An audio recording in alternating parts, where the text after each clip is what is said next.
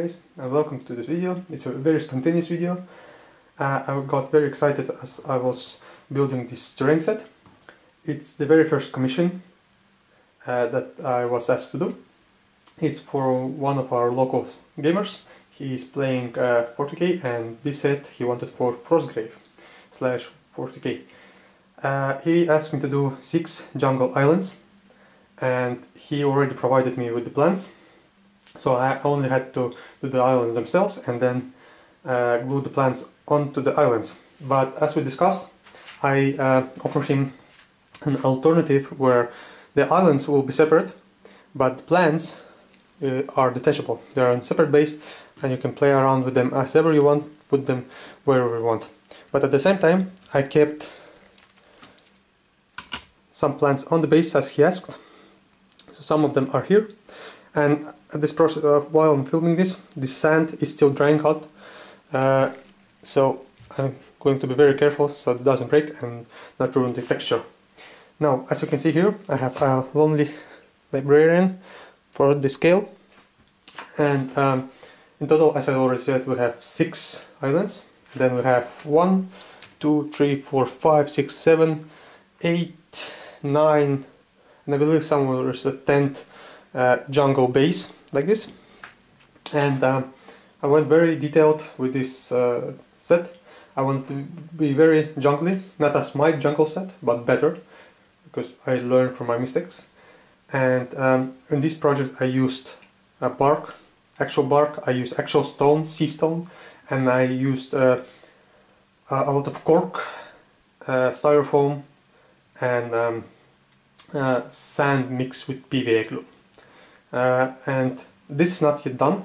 Uh, once the sand, the texture sand is dry, I'm going to sand the entire piece where it's needed to make it more sandy uh, and more uh, muddy. And I think I want to use some uh, actual uh, plant soil for this because soil has a different texture once it's dried. So, but it's for a later discussion. I have to try it out and test it out. But let's uh, take a closer look at the uh, islands themselves. And so he asked, as I said, he asked me for, for six islands. He wanted them different size and shapes. So I did some, uh, I did small, some I did bigger. So that's all part of the agreement. Now here's the sea stone. It's very, uh, very thin, so it's crackable with your fingers. And that will give you this broken up texture. As you can see here on the biggest piece I use a lot of uh, bark and um, it turned out quite well. As you see the benefit of detachable plants, you can play around with the terrain as you want. If you want, you can make them it as dense as you want.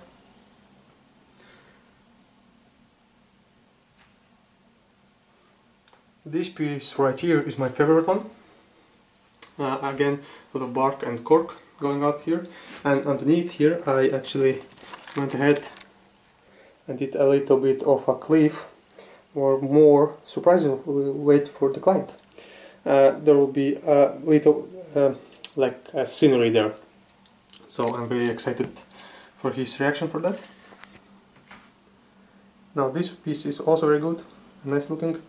And I also used um, I had from my training project I had this uh, stones that went to the aquarium and I decided to use it here for more rocky texture which came out very nice.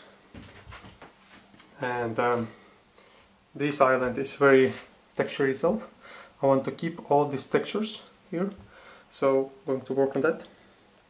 As you can see a lot of uh, sand mixed with white PVA glue going on every single piece. And not only it will add texture but it would add weight to the set and it will not be uh, so easy to knock it off from the table while you're moving your models and accidentally hit it with your elbow or whatnot.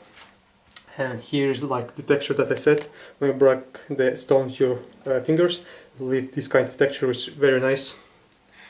So yeah, that's the terrain set for now. It's uh, very WIP right now. Uh, as I said, tomorrow I'm going to make more sand work on it and then it's going to be painting time and um, very excited to try out new color schemes for this uh, as uh, the client asked me to do different colors and I'm very excited about that. And when it's done, I'm going to present you a jungle terrain set showcase. So thanks for watching guys, leave a comment down below what you think so far. Uh, and yeah, hope you have a nice day and see you in the next one.